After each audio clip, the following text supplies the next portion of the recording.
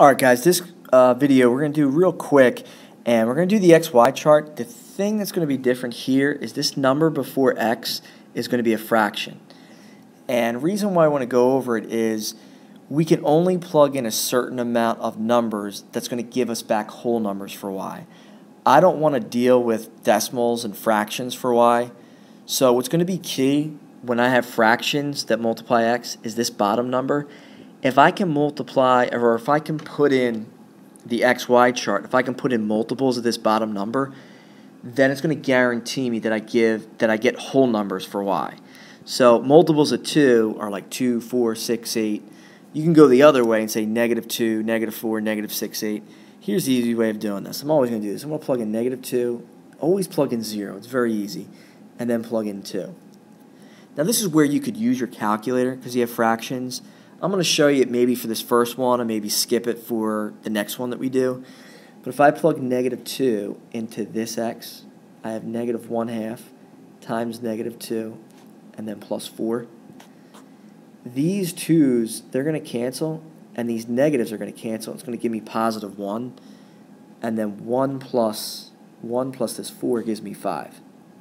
So this ordered pair is negative 2, 5 if you plug in 0, you're going to plug in 0 for this x. You're going to have negative 1 half times 0 plus 4.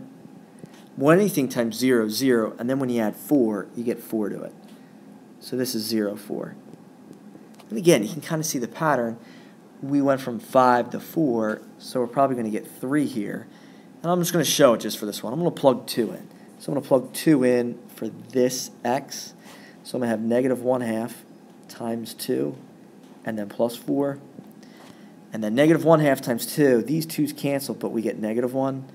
And this negative 1 plus this 4 gives me this 3. So it works out.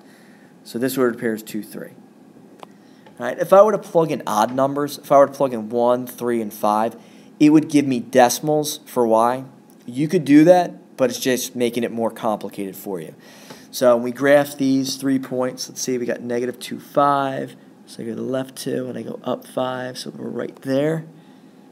So let's go negative 2, 5. We're right here. Okay, then we have 0, 4. So this is just a y-intercept. We go up 4 units. So we plot that point right there. There's 0, 4. Um, then we have 2, 3. So from the origin, we go to the right 2, and then we go up 3, and there it is. It matches up. So 2, 3 is right here. So there's our line. All right. Even though we have fractions in the equation, we're going to deal with it in a way so that we just get back whole numbers. All right, let's go to uh, number 3.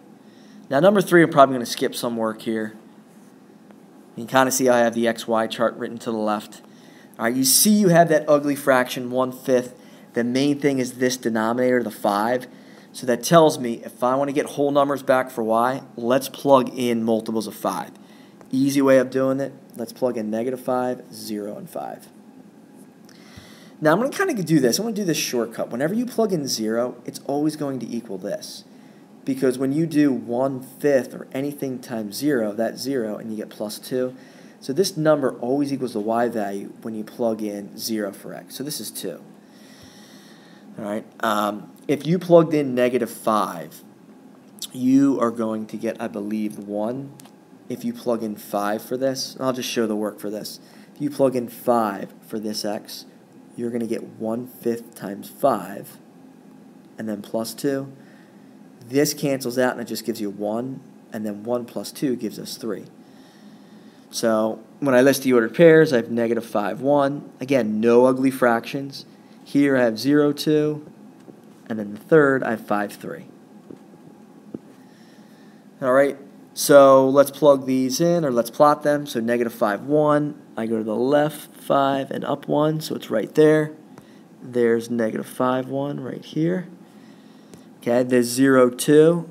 I just go up 2 units, so there I am. So there's 0, 2. And then this 5, 3, I just go to the right 5 and then up 3, and it matches up. So 5, 3 is right here. So here we have our line that goes up left to right. The other thing you'll see, this in this y in the xy chart, the y's go up by 1, and the reason is because the numerator's 1. For number 1, I think it went down by 1 because the numerator was negative 1. All right, so this is a little shortcut here so we don't have to deal with fractions. The key is plugging in multiples of the denominator, the bottom number in the fraction.